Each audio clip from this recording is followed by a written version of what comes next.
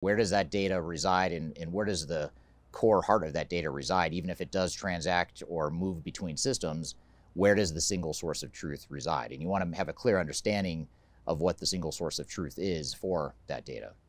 The other thing to consider is that you need to make sure that you have the right data flowing back and forth between systems to ensure that you have the right data flows.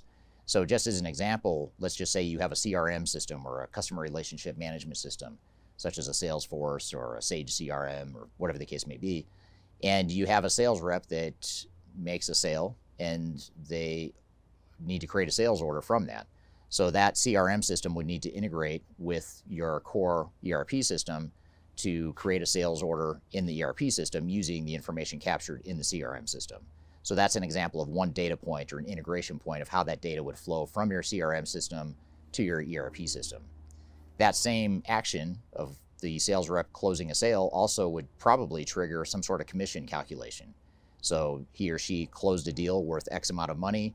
They're going to get a commission of X amount based on a percentage or however you calculate commission that then needs to feed into your HCM system for payroll purposes and it also needs to tie back to your financials so that you can track that transaction as a financial transaction or a liability that needs to be paid to that sales rep.